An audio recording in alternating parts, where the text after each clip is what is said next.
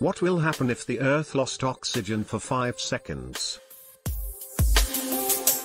Oxygen is the lifeline of a human being. It is the main catalyst for intracellular energy that is necessary. We inhale oxygen and exhale carbon dioxide. But have you ever thought that what would happen if the world lost the oxygen for just 5 seconds? What would we do? Okay. Now take a deep breath to feel how satisfying it is before we tell you what would happen if the world lost oxygen for 5 seconds.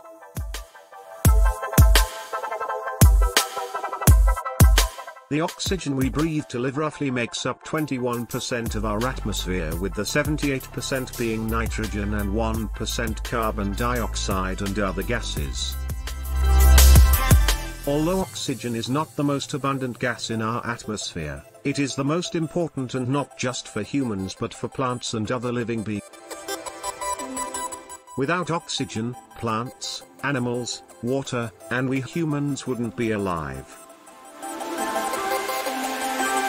Though 5 seconds looks a very short span of time and we all can easily hold our breath for that time.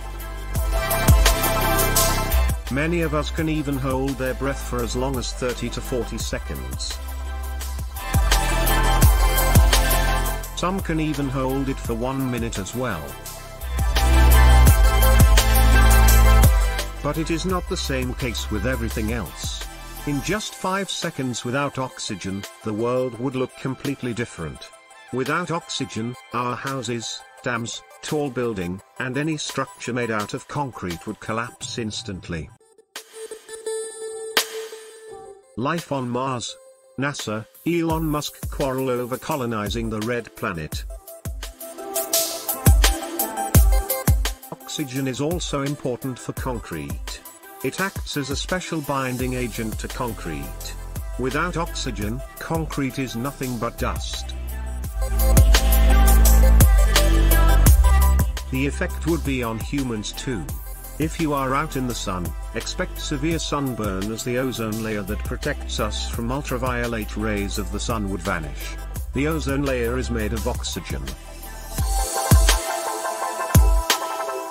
If the world lost its oxygen for 5 seconds, the Earth would be an extremely dangerous place to live in. Due to the severe sunburn, our inner ear would explode. The air pressure on the Earth would drop 21% and our ears would not get enough time to settle.